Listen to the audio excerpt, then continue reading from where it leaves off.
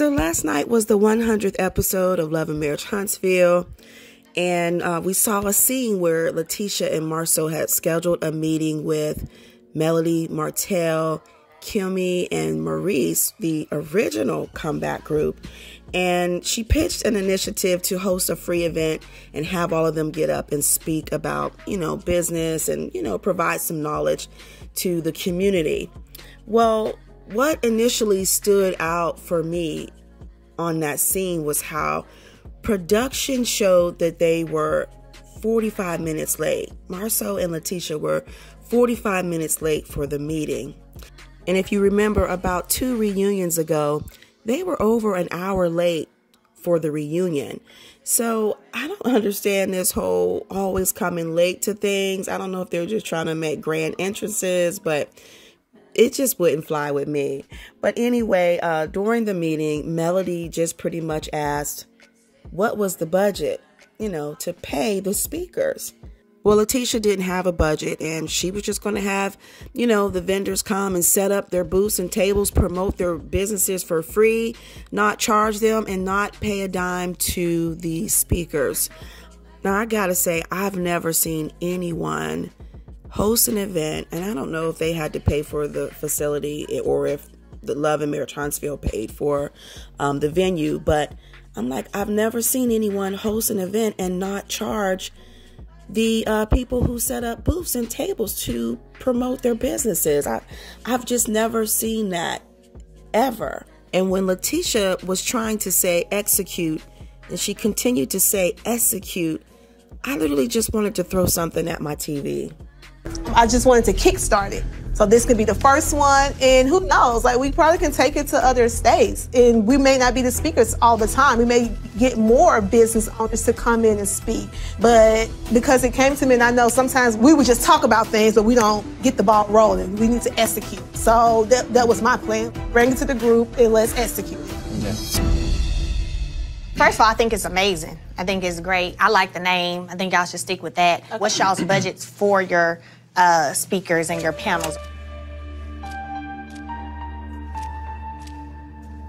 What do you mean by the budget for the speakers and panels? Like for your, the pay, the fee, you know, the fee. Oh, paying you guys to speak. Mm-hmm.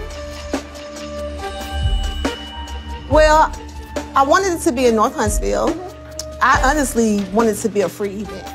I wasn't going to charge people to even come right. to it. So I wasn't going to pay us anything to speak.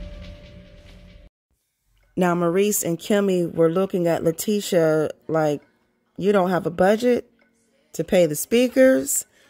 And Martell perked up when he heard the word fee from Melody. Um, and he wanted to know what her fee was. And she basically shut him down and told him it was none of his business.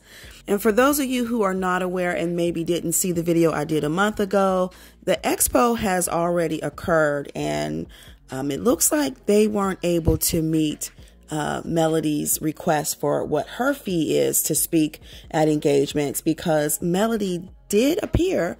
She came and showed her face. She was there with her brother Marcus, but she did not speak on the panel. Um, it looks like the panel only consisted of Kimmy, Maurice, Stormi, LaTisha and Marsau, and then there was another individual on the stage. But like I said, we did not see uh, Melody up there. And hopefully, if they do this again, uh, they will implement a budget for the speakers. Now, Melody did go live yesterday and she did provide some good tips about what we saw on that scene. So let's take a listen to what she had to say. So I hope um, and I've said this and I'll say it again. I've tweeted it. Um, I think the I said it on the show. I think the expo um, is a great idea. I think it's a great idea. I can't wait for you guys to see it play out. Um, there is still more leading up to the expo, but I can't wait for you guys to see the expo play out. Um, and it's a great idea. Nothing wrong with at all. I feel for what it is that they are um, doing and wanting to do. I think it's great. Um, but also, it's okay too for people to have a fee. So, what I hope you guys take from tonight's episode is not ever being afraid, y'all, to ask the tough questions. Don't be afraid to ask the tough questions. Don't be afraid whether that's you having a product, um, whether that is you look, having a business and you're looking to expand it and um, you know you need to talk numbers don't be afraid to talk numbers don't feel like you're going to miss out on an opportunity because you're bringing up numbers because let me tell you what i guarantee you those people are in rooms bringing up numbers for themselves you know what i'm saying like if you're sitting in a room and I'm I'm past the show tonight. I hope y'all get that. Like outside of the show. If you're sitting in a room with a group of people, trust me, those people ain't gonna be afraid to ask for the numbers when they're with people doing things or people who are in higher positions than them who can pay them. They're gonna ask about numbers. So it's okay. Nothing wrong with you doing that. Um, and that's what I hope y'all take from it is know your worth, know your value, be okay with asking the tough questions. be okay with asking the tough questions. Be okay with it, do you have a budget? Do you have a budget? What is the budget? Be okay with asking that, okay?